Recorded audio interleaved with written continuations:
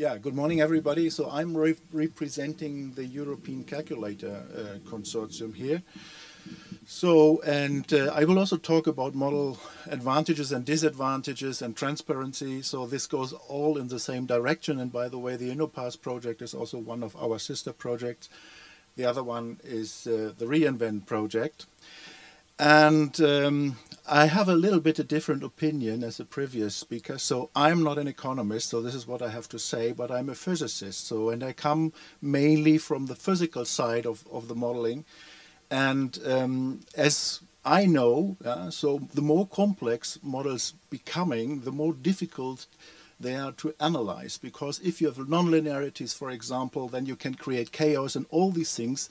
And this is also one reason why models are often blamed uh, because because the the full rigor of of the anal analytical processes which are needed in order to evaluate them can only done partly uh, for these very, very complex models. This holds, by the way, not only for macroeconomics uh, models or for economics uh, models in, uh, in, general, it holds also for the climate models, by the way.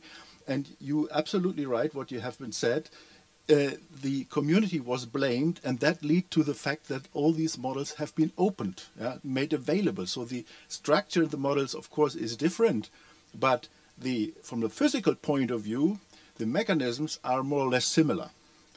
Okay, so allow me a few words why we need to go further uh, down down in the scale because this is absolutely important because we want to foster the energy union uh, and the okay we want to foster uh, the deep transformation in the in the European Union and um, in order to make clear the yeah, the urgency, I have uh, three slides only, which are dealing with the climate problem. What we see here is a remarkable linearity between the global warming and the emissions. Yeah? So if you look on the targets we have been defined, so the two degree, uh, degree target and the... Uh, ah, okay, okay, thank you. Um, and the um, uh, 1.5 degree target, you see no, so, you see that we have only a limited time yeah, uh, for, for achieving these goals. Yeah? So if you look on it, so uh, we have a time until 2050, yeah, not more. So, um, and I'm really not sure whether this time is sufficient in order to make a deep transformation in all parts of our societies. Yeah? Here I have really doubts, and therefore we have to convince people. We have to take them from their, from, from their points of view and bring them into the future. And this was one motivation of the, of the global calculator model, uh, which I will discuss in detail. So I will also explain you a little bit about cities. What you see here is uh, an application of the so-called Kaya identity to cities. Yeah? And here, namely to uh, uh particularly to cities in the OECD and in the developing world. And you see uh, uh, quotients here. Um, so CO2 per population, for instance, if you look on all cities, it is one, so that means it is a linear relationship. If you look in the OECD, and this is a good news, we, we, are, we are going down, so we have 0.87. Yeah? But in terms of GDP per population, we have also approximately one. That means um, if the population is increasing, parallel also the emissions are increasing. Here we can become, of course, much better, or we can get much better here.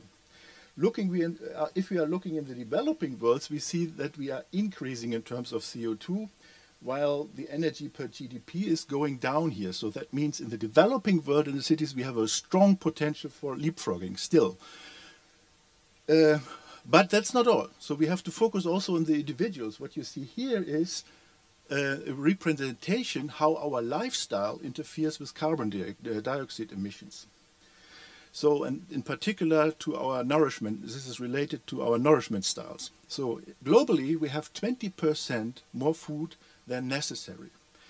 So we have good reasons to say that this food is wasted away. And how much emissions this create from the agricultural sector alone, you see here on these slides. 20% and this is around 12 to 13, 14% of the total emissions of, from the agricultural sector. So this we have to make clear to the people. Okay, so what is now the European calculator?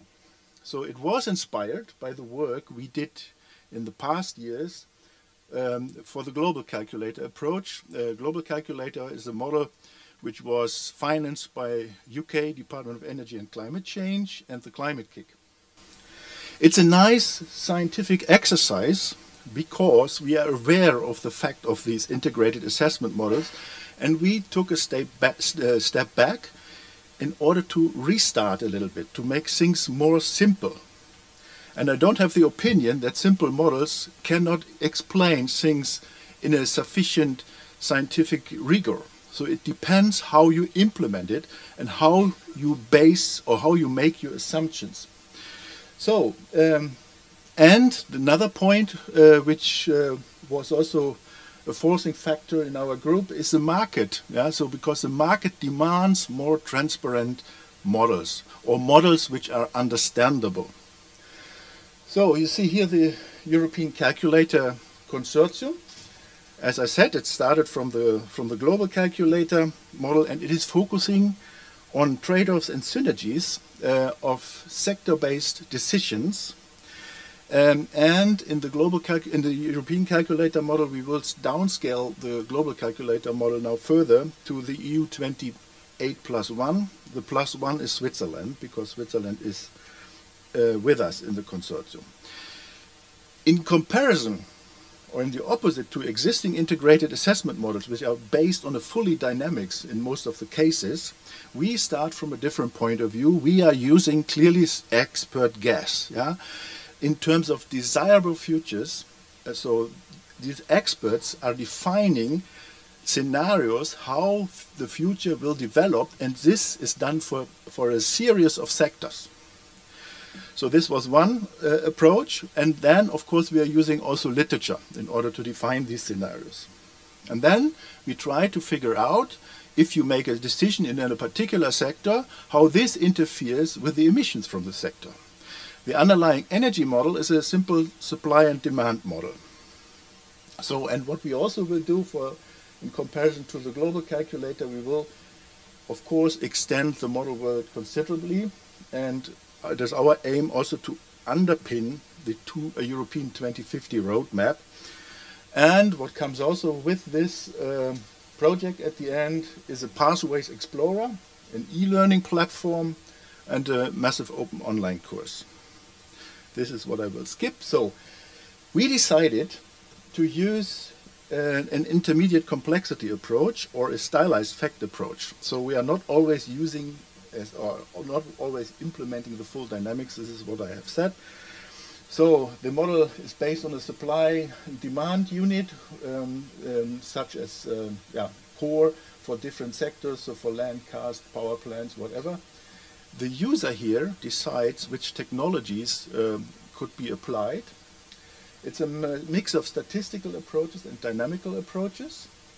In the moment, we not have done or we have not implemented, um, uh, let's say, optimization uh, or we have partly Im implemented optimization uh, algorithms, but um, they are not economics-based assumptions uh, included about people's behavior. This will change in the future. Uh, and we have only limited feedback. So we consider only the necessary feedbacks. Yeah? Because if you have too much feedbacks, the, the point comes up again. So how to analyze all these different mechanisms. If you have modules which are interfering in a strange way, you can create chaos and whatever. So, and we will include uh, also a series of further modules. So how a model a module look like you might, might see here. So this is for land, water and biodiversity. Uh, we have a different input variables, we have conversion efficiencies, and then we have an output. What is still missing here is are, the feedbacks. So this is what we have still to do. So the project just started six months ago. No, the other way around.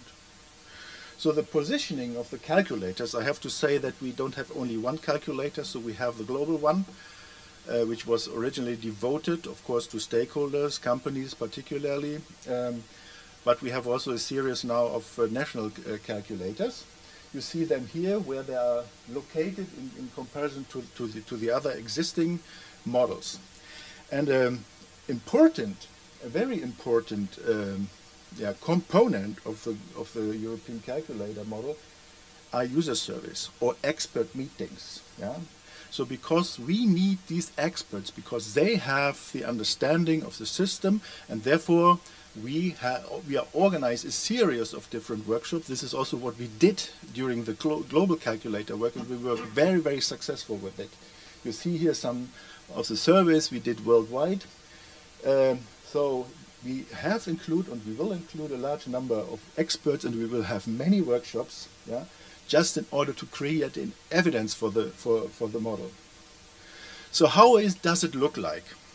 Um, so the main ingredient are so so-called sectorial guardrails. Yeah, so we have we call also also call them levers.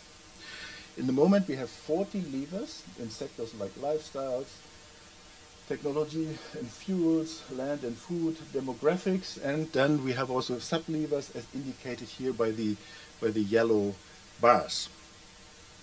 So you can make lever selection. You see it here for the example of diets.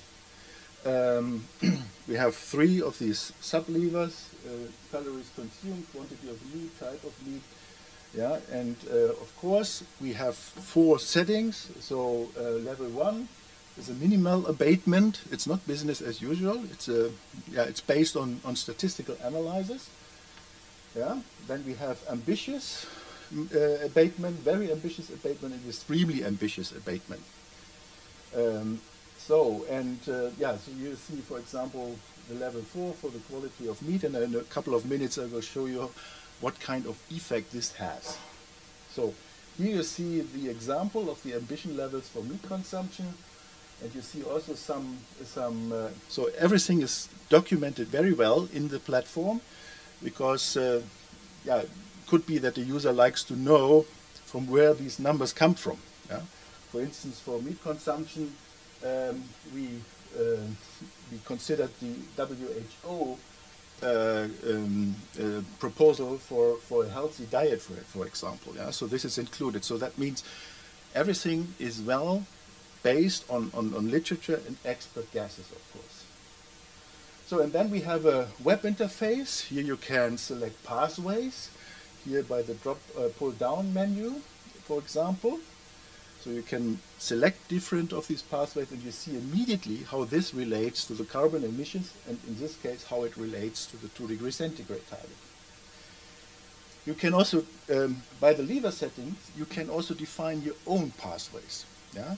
So that means if you would switch the levers, these uh, yeah, gray bar will change. And then you can then you can imagine, and if you do it for several levers, you clearly see how much this interrelates, uh, or how, how much trade-off this uh, creates and how much synergies this probably would create.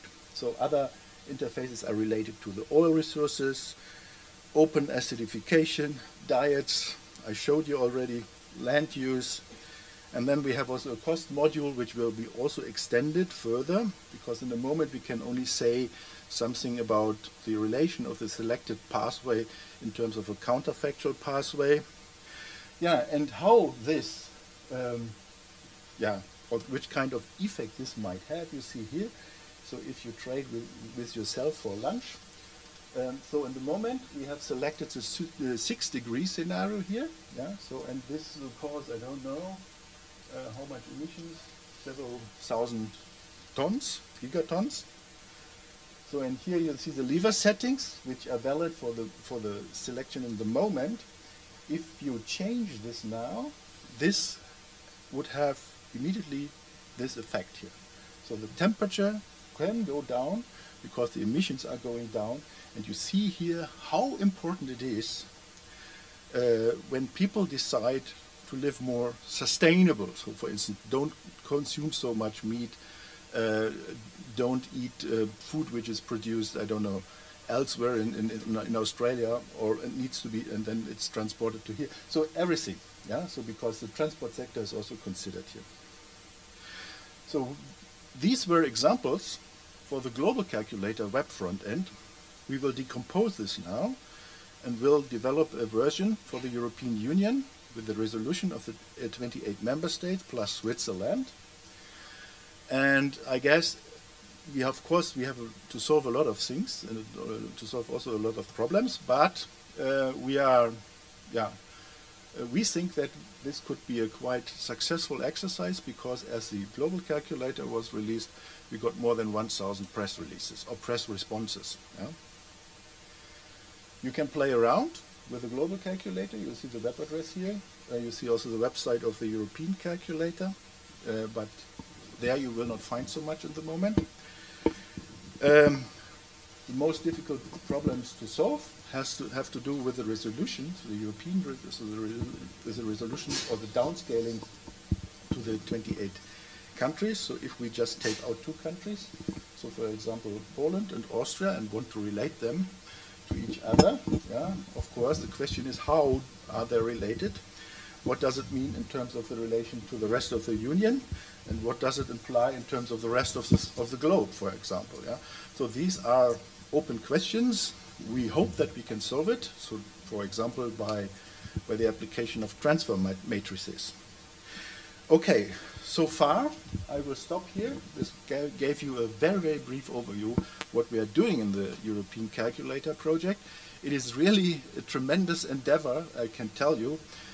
And I hope that we will be successful at the end. And now I'm open for comments and questions. Thanks a lot.